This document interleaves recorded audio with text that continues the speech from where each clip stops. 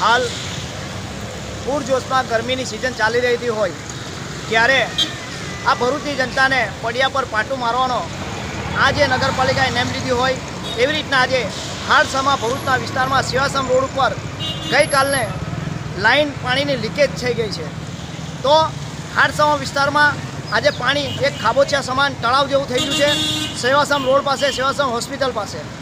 નગરપાલિકાનો નહિવટ તંત્રનો અભાવ હોવાના કારણે આજે પાણી ગતરમાં વહી રહ્યું છે. એક બાજુ કારજાર ગરમી પિસ્તાળીસ ડિગ્રીની પાર સૂર્ય મહારાજ આંકડા થયા હોય, ત્યારે લોકો પાણી માટે વલખા મારતા હોય, અવારનવાર નગરપાલિકામાં માટલા ફોડવા, આંદોલનો કરવા જેવી બાબતો હોય. અને આ વિકાસના બનકા ફૂંકતી આ જે બે દિવસથી લાઇન તૂટી છે, એને રિપેર કરવાનો પણ સમય છે નથી. અને લાગે છે કે એમને ખબર જ નથી કે અમારું ભરૂચને દશા અને દિશા શું છે. તો મારે એમને તંત્રને કહેવું છે કે આટલું લાખો લીટર પાણી જે ગટરમાં જાય છે અને મેઇન રસ્તા ઉપર છે, આવનારા જતા લોકોને પણ તકલીફ પડે છે. તાને વહેલી તકે સમારકામ અને રિપેર કરે એવી માંગણી છે.